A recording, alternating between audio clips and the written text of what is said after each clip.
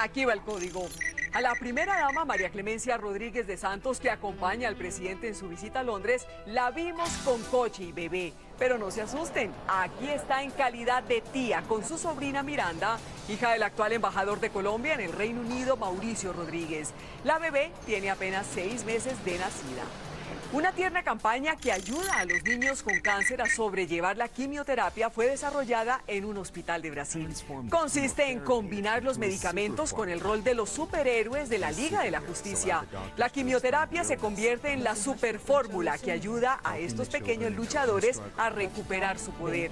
Para eso hicieron cómics en donde Batman, Superman y sus amigos pasan por situaciones similares al cáncer y deben utilizar el medicamento. ¿Se acuerdan que a la magistrada Ruth Marina Díaz en su partida a España la despidieron con mariachis? Que te vaya bonito. Pues hoy a su regreso le cambiaron el ritmo, la recibieron con papayera.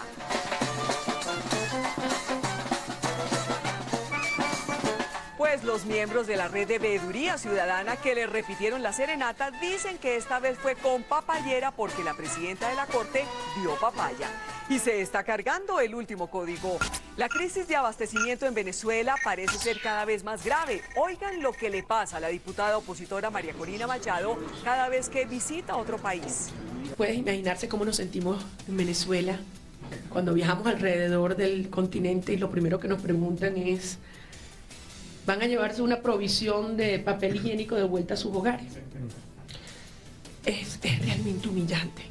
Recordemos que los asesores de Enrique Capriles durante su polémica visita a Bogotá en días pasados hicieron un buen mercado. Hasta aquí el código Caracol.